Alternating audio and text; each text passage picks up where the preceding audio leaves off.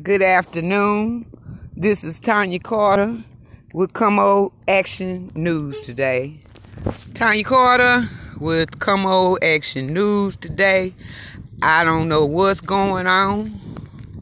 I said that I wasn't going to be doing any more reporting. I got a telephone call that them people was out here. Right after I made a post on Facebook warning about these people being out here, I saw two undercover cars flying up my street in the 5600 block of Diaz Avenue. I came out and crossed the street because I don't want no problem. They look like the police officer. I don't know. I think that's the lieutenant.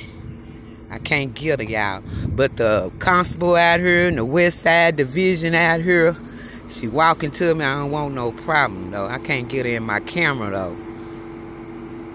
But it's a whole bunch. Hey! Mm, no, it's something going on. Somebody in the alley. Last night, the helicopters was flying real, real low. Almost scaving your head low. I don't know if you can see. But it's a whole bunch of people. They probably blocking this street out. Ooh, I hear something. Help me.